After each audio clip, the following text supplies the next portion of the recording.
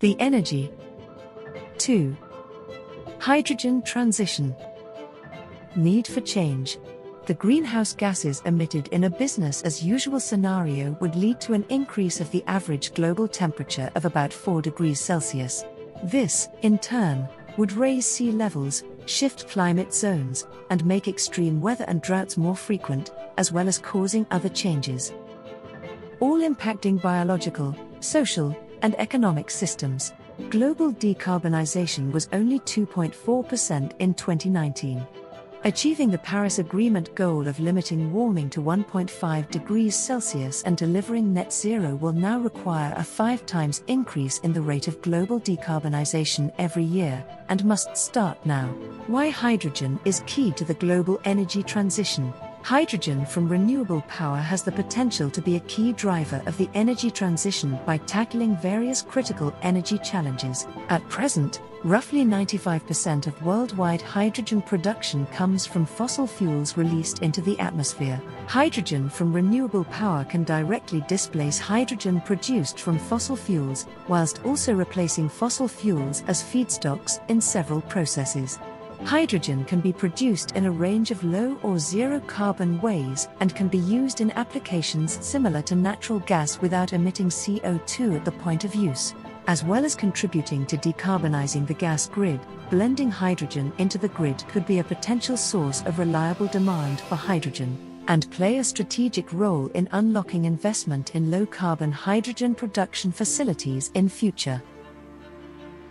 Hydrogen's main benefits Hydrogen can be produced from diverse domestic resources with the potential for near zero greenhouse gas emissions. Once produced, hydrogen generates electrical power in a fuel cell, emitting only water vapor and warm air.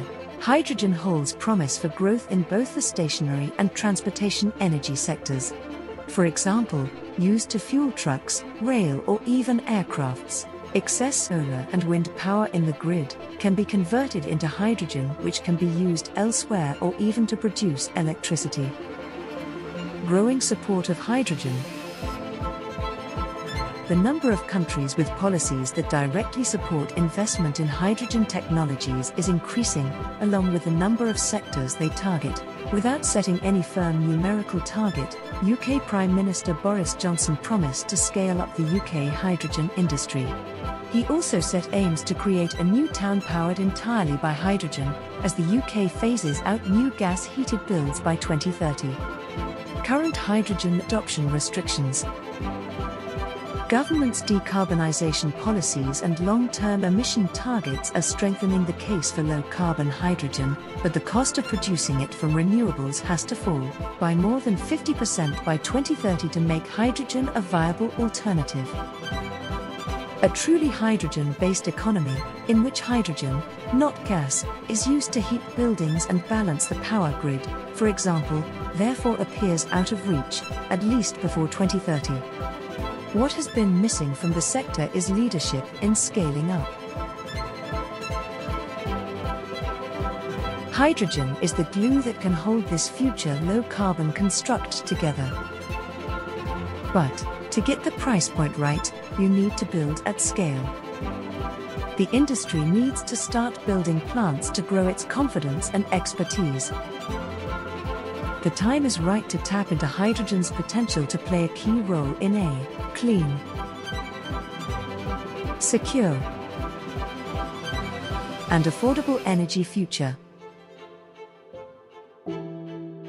Colloide doing their part. As a business committed to lowering our carbon footprint and contributing to our net zero future, we are continually looking for more environmentally friendly ways to aid the energy transition from fossil fuel.